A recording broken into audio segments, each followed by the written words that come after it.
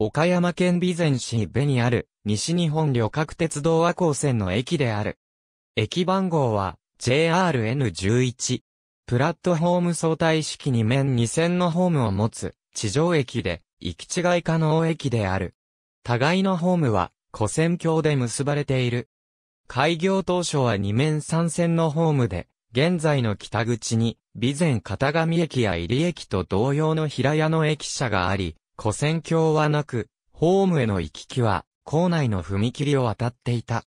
後に、南寄りの一線は撤去され、伊部駅南ふるさと交流センターを併設した南口が完成すると連絡通路や自転車置き場となった。一方、北口は1987年に備前焼伝統産業会館の1階に移設されている。東岡山駅が管理する無人駅。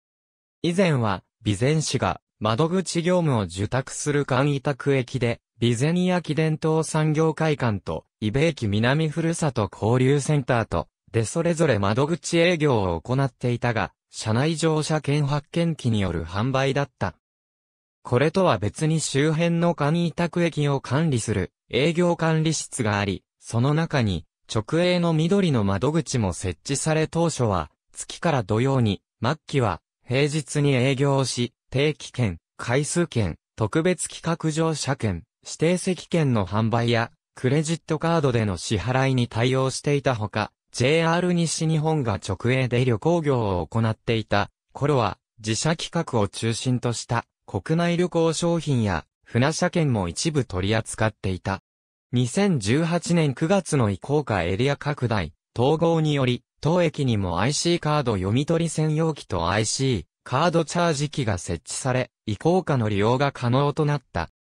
2019年3月1日をもって、簡易宅窓口、並びに、緑の窓口の営業を終了し、翌3月2日から、緑の券売機プラスに移行し、別途金額式金距離券に加えて、移行下定期券、時期定期券と無記名移行下の購入に対応した多機能券売機も導入された。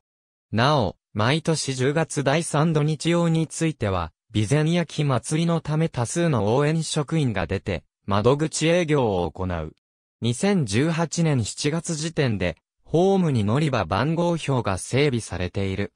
運転指令上の番線番号では上りを1番線としているが、案内上の乗り場番号については、他の行き違い可能駅に合わせて、下りホームを1番乗り場としている。道路沿いに商店がある。街並みが広がるが、山間の小さな平地のためそれほど大きいわけではない。旧国道沿いには、備前焼きの店が立ち並んでいる。